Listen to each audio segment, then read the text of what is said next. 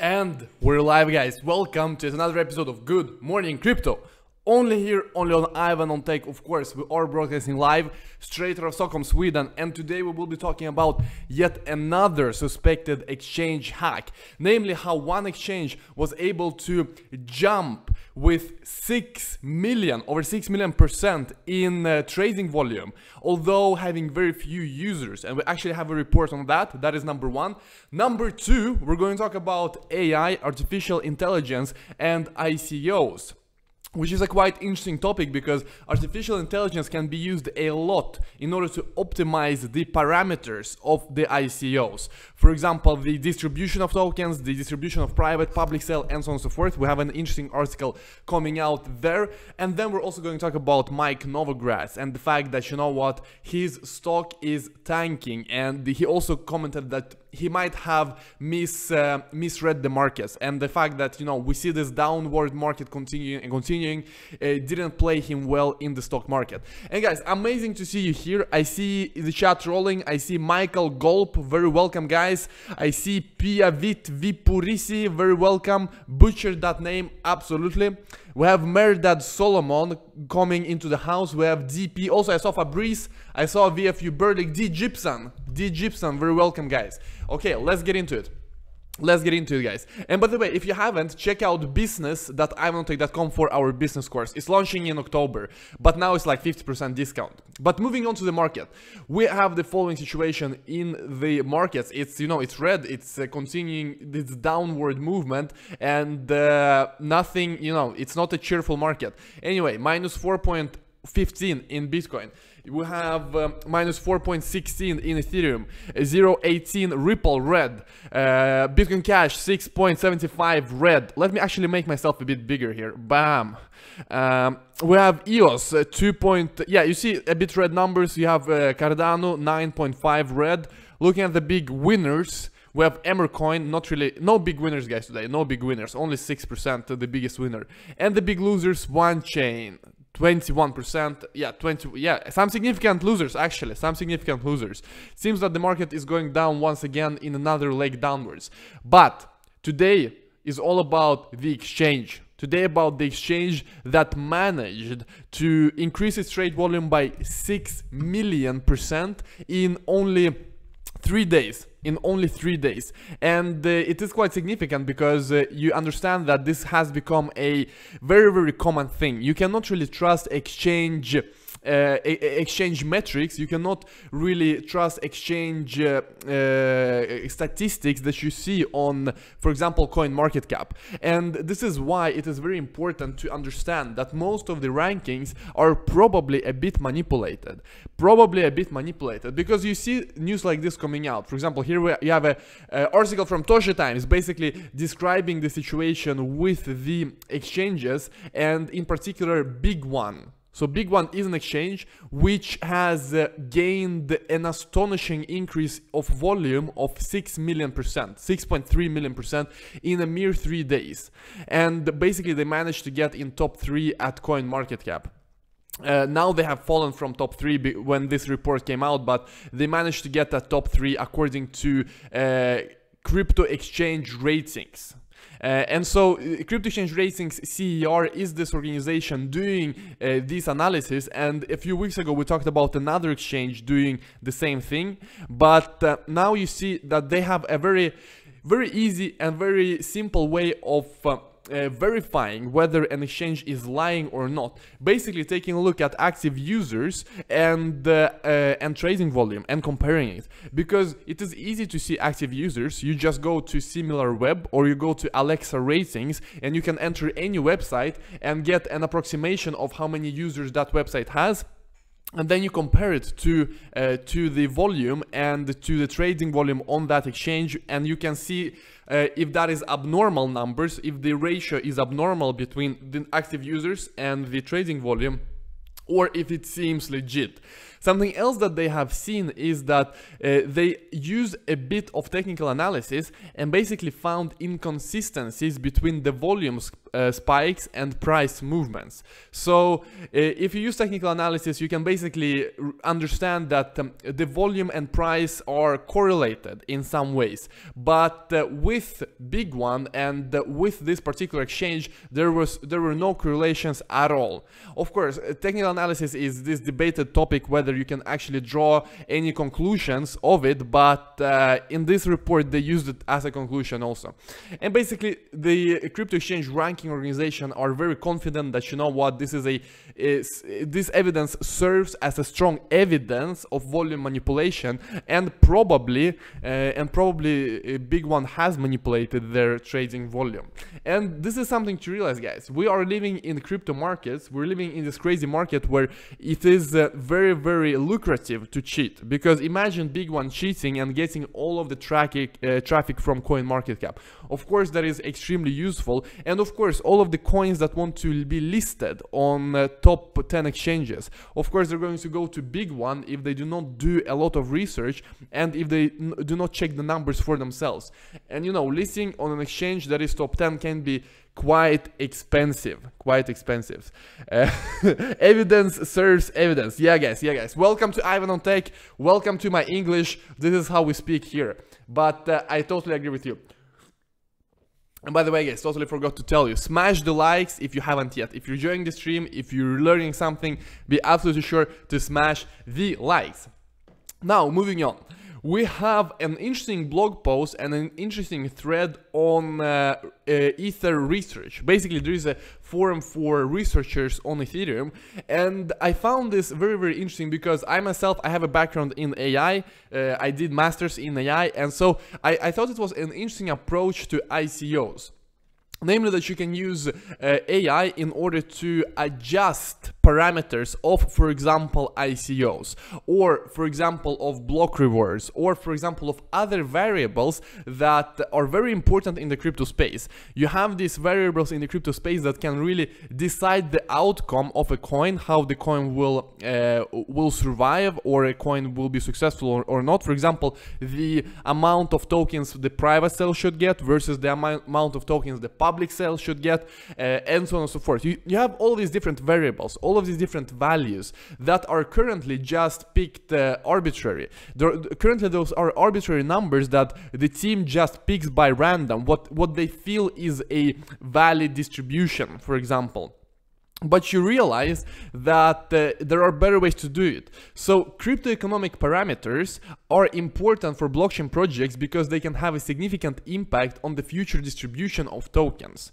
Yet most projects seem to be choosing this uh, arbitrary, just, you know, by feeling. For example, an ICOing project may decide to keep 10, 20, 50 or even 90% of its tokens, continue some of the uh, contribute some of the rest to development fund and have founders reward of X percent. So a lot of variables. You see, there are a lot of variables when it comes to ICOs, but also when it comes to, for example, Ethereum, and when Ethereum wants to reduce the block reward from 3 to 0.8 Ethereum when Casper uh, goes live, when this first version of uh, Casper goes live. It's another very important variable. And how do you actually make sure that um, that variable is uh, is legit and that that variable is actually going to play well in this game theoretic environment that uh, crypto markets actually are. And it's very hard to predict how a number will affect the cryptocurrency long term and how a decision may affect.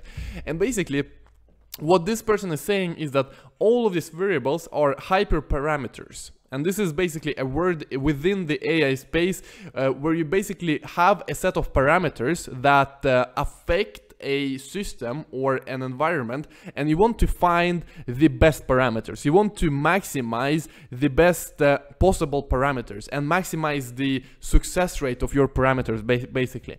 And the person here is uh, proposing a reinforcement learning model in order to train this uh, this particular mathematical model that they are proposing. And basically they want to use AI and re reinforcement learning is a uh, branch of AI where you have the following situation. You have an AI agent. Let me increase this. You have an AI agent right here. This is kind of the eye. And uh, you have environment and this is the environment the agent is in. So in that, uh, in this case, it could be the current market of ICOs. It can be the current crypto uh, trend, for example, whether we are in a bear market or a bull market. It's all about the uh, outside factors that the uh, that the agent um, is uh, present in. Uh, and by the way, here's the interpreter. Here's basically the uh, the part that interp in interprets how to say interprets the uh, the actions of the agent. So uh, the agent is actually here. I did a mistake earlier. Th this is the agent, and the agent basically takes actions based on the environment. Agent takes a look at the environment and takes actions. And then this interpreter uh, either gives a reward or uh, decreases the reward. So if the interpreter uh, feels that the agent is doing good things, uh, the agent gets rewarded. And so this is kind of the mathematical model we are in, where the agent basically tries different things, tries to take different actions and then gets more or less reward for uh, for those actions. And by getting the reward the agent can adjust adjust the way it makes decisions. So this reward is basically what is making the agent learn and the agent is using the reward in order to adjust itself. And so when the agent uh, runs this, you know, this loop for maybe millions of times, maybe billions of times, if you have a really, uh, really good model that has been trained well, you know, these deep learning mod uh, models you see nowadays being deployed by Google and other uh, huge companies, they, they have trained for weeks, if not even years, with a lot of information, a lot of data, and a lot of actions were taken by this agent in a particular environment. So basically, basically, in this case, when when we're talking about ICO parameters, this agent would basically pick the parameters. For example, the agent would say, you know, private sale should be 20% or, you know, a public sale should be 30%. And basically try different things, take different actions, and then the, uh, the, this model would also simulate what kind of results that would give, and basically make an, an approximation. And this agent would be rewarded or,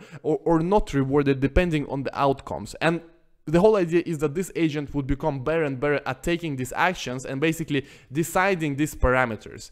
And you know what? I thought it was quite interesting quite interesting approach to a very hard problem that currently hasn't been solved in a good way at all. Because I personally know projects are just uh, picking these parameters randomly. They don't think a lot about the parameters, they don't take a mathematical approach, they don't take a statistical and data driven approach at all. It's mostly, okay, uh, how do we feel like? What, what does feel the best in this particular case? And of course, feelings are not data driven at all.